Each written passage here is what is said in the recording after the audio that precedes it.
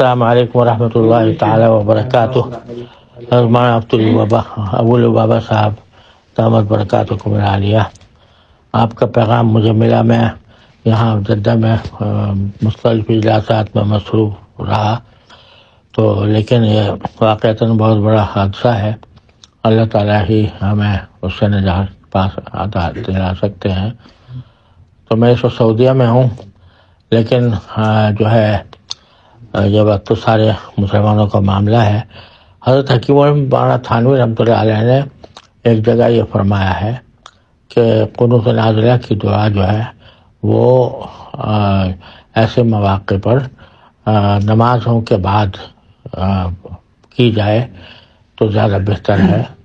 जिस किस्म के ये आजकल हज़रत जलाजिल वगैरह आ रहे हैं तो उसमें नमाज़, नमाज़ों के बाद पढ़ने को अफजल करार दिया है।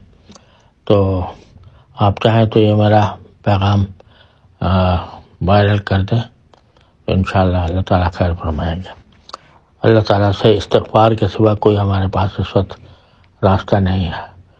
अल्लाह ताला हमारे गुनाहों को माफ़ फरमा दे हमारी शामत अमाल को रबा फरमा दे। अस्सलाम वालेकुम रहमतुल्लाहि ताला व बरकातहू